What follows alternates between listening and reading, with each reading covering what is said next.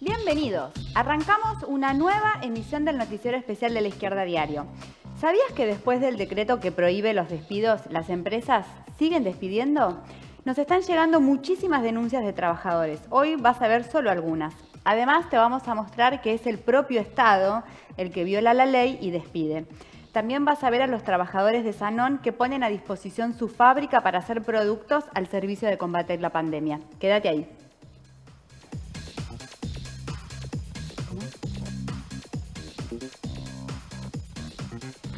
Hoy se cumplen 38 años del inicio de la Guerra de Malvinas. Desde acá, por supuesto, que nos sumamos al reclamo de la soberanía de Argentina sobre el territorio ocupado por Gran Bretaña.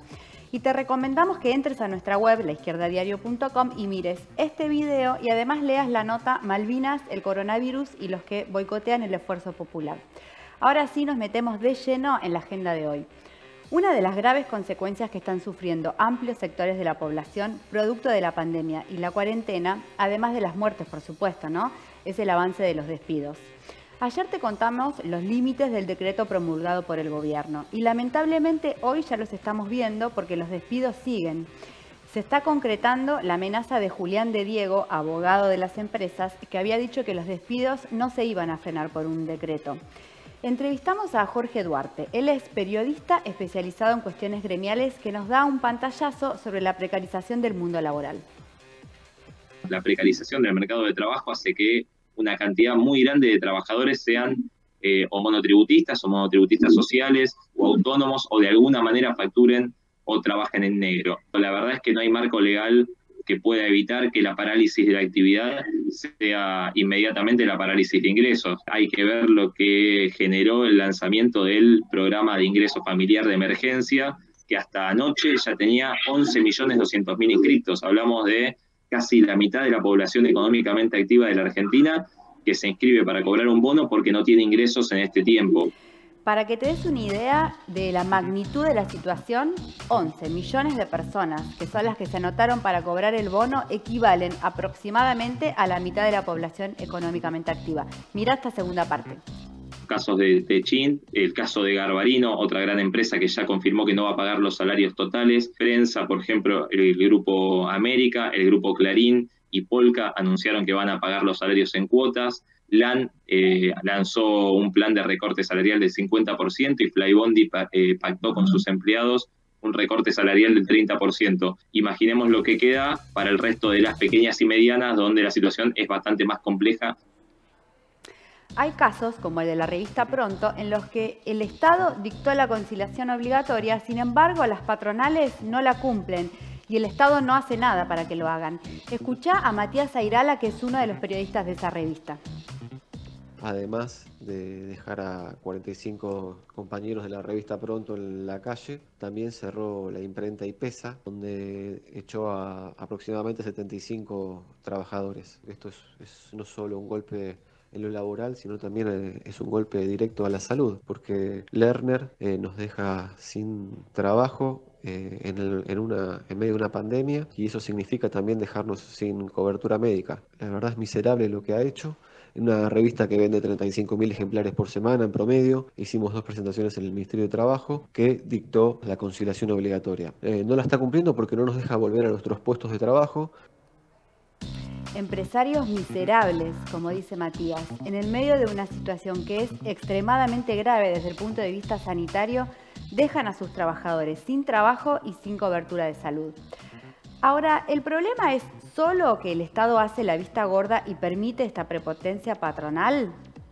Lamentablemente no, porque aunque te cueste creerlo, en algunos lugares es el propio Estado el que despide. Escucha a Lucas Delgado, trabajador tercerizado del Teatro Colón. Teatro Colón terceriza actividades, entre ellas visitas guiadas. Los únicos despedidos somos los de visitas guiadas. El primero de abril, de abril nosotros sin previo aviso nos llega a la mañana un telegrama en algunos casos y un mail. La empresa nos dice que nos despide eh, porque el gobierno de la ciudad no les paga desde octubre. El telegrama que nos mandan dice que no nos, nos despiden por una situación de fuerza mayor que es la pandemia. El despido se efectiviza el primero de abril y el DNU rige a partir del 31 de marzo. todavía no hemos cobrado, estamos en el medio de la cuarentena, no tenemos posibilidad ni de conseguir otro trabajo. Hay gente que, digo, que es padre, que tenemos que pagar alquiler, hasta de si somos 25 personas que anoche no dormimos. No hemos tenido ninguna respuesta ni del gobierno de la ciudad ni de la empresa Eternautas de que legalmente han dado marcha atrás con estos despidos o los han suspendido. Además, también fueron despedidos trabajadores de salud y del SAME en La Plata. Increíble, ¿no? Despedir a estos trabajadores en el medio de una pandemia. Y también fueron en Vicente López eh, despedidos más de 30 trabajadores municipales. El Estado debería hacer que la prohibición de los despidos sea retroactiva al comienzo de la cuarentena. Y por supuesto que en este marco es más que necesario que cada fábrica o empresa que cierra o despida masivamente sea ocupada y puesta a producir por sus trabajadores. Y por último, algo que te explicamos ayer. ¿Por qué el Estado no impone un impuesto a las grandes fortunas para que los trabajadores afectados por el desempleo en este periodo puedan tener un salario de cuarentena? De esto vamos a estar hablando mañana en profundidad. Ahora, los despidos no son un problema eh, solamente en Argentina. Los capitalistas en todo el mundo están aprovechando la pandemia para despedir. En Estados Unidos, si escuché esta cifra, 10 millones de personas se quedaron sin trabajo en solo dos semanas. A su vez, en el Estado español ya se perdieron casi un millón de puestos de trabajo. A todo esto, en el mundo ya suman más de un millón las personas que están contagiadas por el virus. Ahora volvemos al territorio nacional, porque te vamos a contar que el gobierno dio marcha atrás con la idea de intervenir el sistema privado de salud. Tras las presiones de los empresarios, el ministro Ginés González García, el ministro de Salud, acordó con ellos solamente hacer una mesa de coordinación.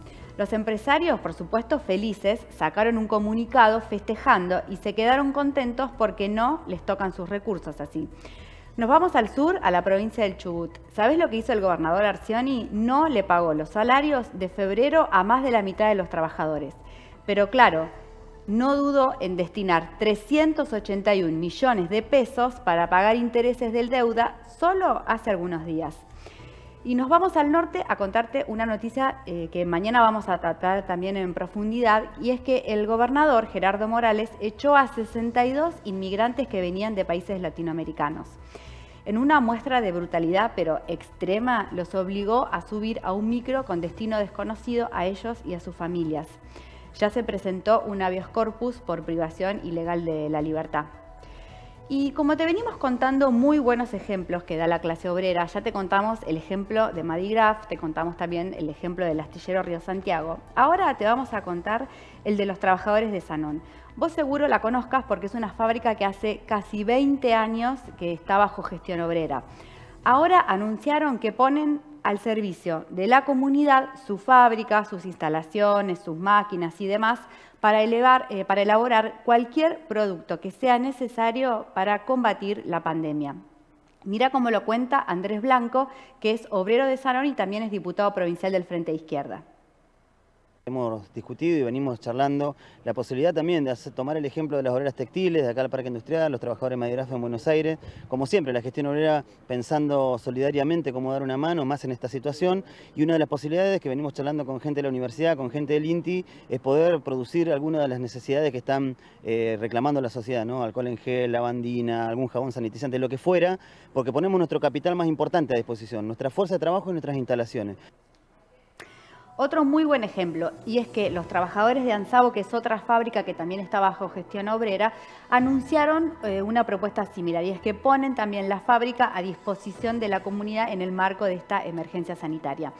Estamos llegando al final, pero te quiero recomendar algo para que termines el día un poquito contento en el medio de esta situación que es bastante difícil te quiero recomendar eh, un programa, ahora vas a ver el avance, se llama Multiverso Escolar, es muy recomendable y lo vas a ver también en nuestra web. Míralo. Y esto es Multiverso Escolar. Vamos a hablar de la.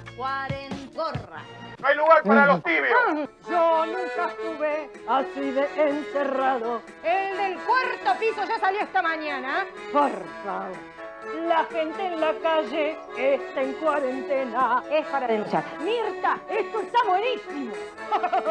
El que está vendiendo pan oficial, confísquele la bicicleta.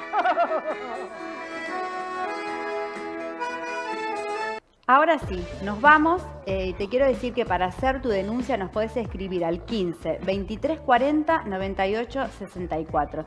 Y por supuesto te digo lo de siempre. Si te gustó este video, hacenos un comentario, danos un like, suscríbete a nuestro canal. Y por supuesto, seguinos en nuestras redes sociales. Ahora sí, terminamos y nos vemos mañana. Chau.